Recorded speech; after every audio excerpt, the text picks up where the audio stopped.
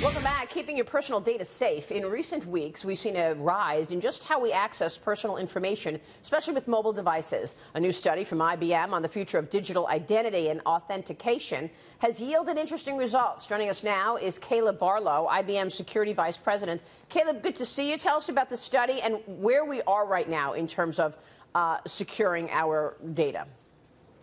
Well, we looked out over thousands of business professionals and consumers and asked them a bunch of information about how they use passwords. And, you know, one of the most interesting things we found is that millennials are actually leading the way towards us moving away from passwords.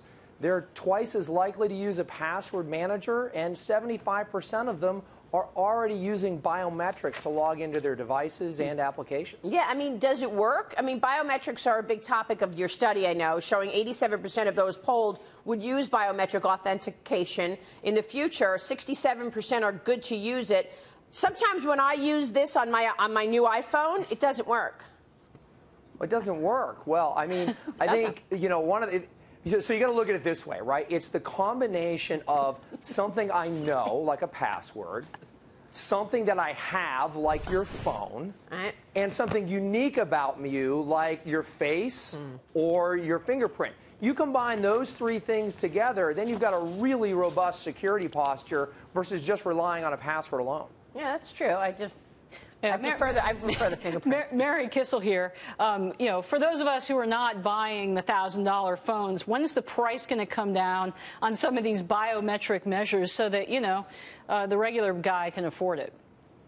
Well, I think that's more up to Apple than it is to me. But I think the the real the real point there is as these things start to become more and more commonplace and as people become more and more used to them, it's really important because it's very easy to crack a password nowadays, right? I mean, you can brute force uh, cracking a password if you have the encrypted hash of it in oftentimes a few seconds with the right tools and equipment.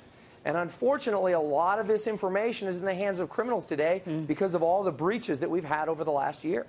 Hey, Caleb, this is Mike Murphy. Um, so, looking at a company the size of IBM uh, and wondering how startups play into what you guys are doing, we run a venture capital fund at Rosecliff. And so, we're always looking at new companies and seeing how they can disrupt specific industries. Are, are, is IBM looking at early stage companies to see how they can take that technology and improve what you're doing there? Well, you know, we always are. In fact, IBM Security is a $3 billion annual revenue part of IBM. We're on our 20th acquisition. So we're always looking at new technologies and new ways to do things across the, uh, across the globe. Speaking of biometrics, the study saw not only fingerprints being touted as the most secure form of authentication, but banks being seen as the most trustworthy institution mm. to protect users' biometrics. What are your thoughts on that? What's what well, area, whether it's the a bank that you're using or the kind of approach, whether it's your fingerprint or your facial recognition, what's most effective in your view? Well, the most effective thing is to have that combination of a multi factor authentication. Again, something you know, something you have, and something unique about you. And financial institutions, particularly U.S. institutions, have been really leading the way to ensure that our transactions can be trusted and authentic. Now, when we move to things like social media, we're less likely to see people paying as much attention to security. But here's why this is so important Last year alone, there were 3 billion records leaked. Wow. 3 billion records in wow. one year. Yeah. There's only 7 billion people on the planet. That's incredible. Caleb, we'll be watching. Thanks very much. Serious story there. Caleb Barlow, thank you.